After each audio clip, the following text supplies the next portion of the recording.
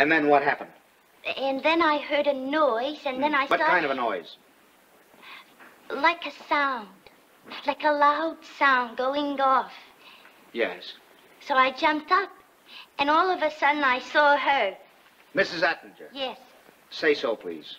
I seen Mrs. Attinger. And she was coming after me with this gun of hers right in her two hands, so I guess I must have started a clunk out or something. Excuse me to faint or something. So then Mr. Attinger grabbed me so I shouldn't fall down, I guess. And then she, Mrs. Attinger, tried to kill me. Objection. Will the court please instruct the witness to refrain from testifying to conclusions? Stand that. Jury, disregard reply. Striking record. Witness will please confine herself to the recital of facts. What did she do? Well, she shot me, at me. I mean, she tried to shoot me.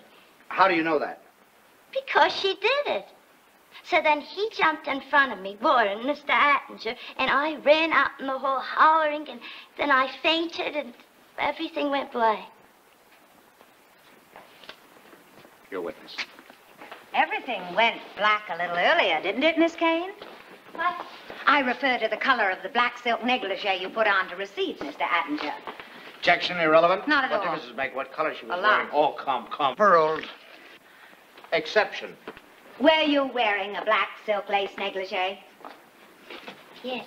Speak up, Miss Caighn. We're all very interested in what you have to say. What else? What? Answer the question. I can't remember. Shoes, slippers? Yes. Which? Slippers. Stockings? Yes. Think again. No. Nothing else. Yes.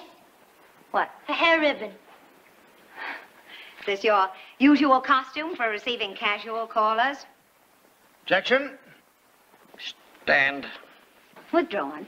Uh, uh, Miss Caighn, you said uh, Mr. Attinger came to see you about... About another insurance policy. I said this already. Well, say it again. Mr. Attinger came to collect on my policy and explain me another kind. You hold... Straight life 3000. And he came to discuss... Health and accident. He showed remarkable foresight in this, wouldn't you say? Would Your Honor instruct counsel to refrain from these sly and feminine hints to the jury? I'll withdraw the question, Your Honor, on condition that the word feminine be stricken from the record. So be it. So ordered. Miss Caighn, uh, a while ago you said, uh, um, would you be kind enough to read me some of Miss Caighn's testimony? Uh, she just fainted, I believe, for the first time. Run to him. So I guess I must have started to conk out or something. Excuse me, to faint or something. So Mr. Attinger grabbed Ah, me. that's so- it. Thank you very much. You said Mr. Attinger grabbed you. Yes. Had he ever grabbed you before? No. Never before? No.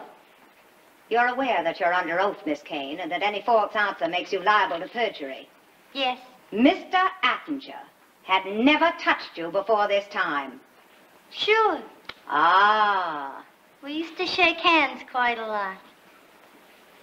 I see. Did you enjoy it? Objection!